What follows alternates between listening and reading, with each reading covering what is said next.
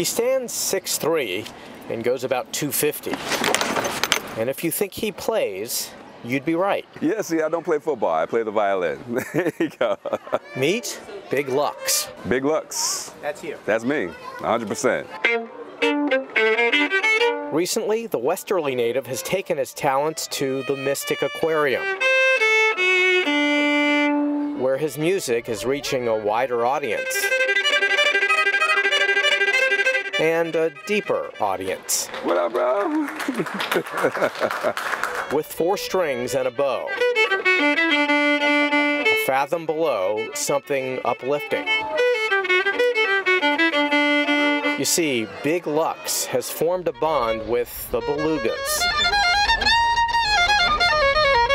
They just brought me in particularly just to play for the whales and also because they know that uh, the more awareness that we bring to these creatures and and their care and what they need, the better it is for the, the Mystic Aquarium. In real life, Big Lux is Kevin Lowther, a West Point grad who's still a major in the Army Reserves.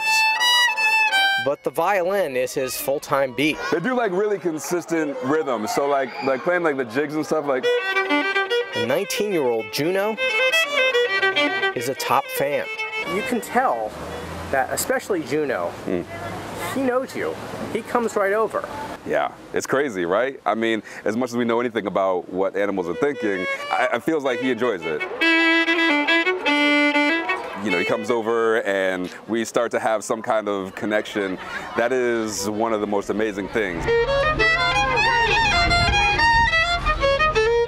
Juno loves Big Lux. Enrichment can come in many, many forms, a physical object to interact with, or beautiful music. And um, we know Juno in particular is a big fan of the music.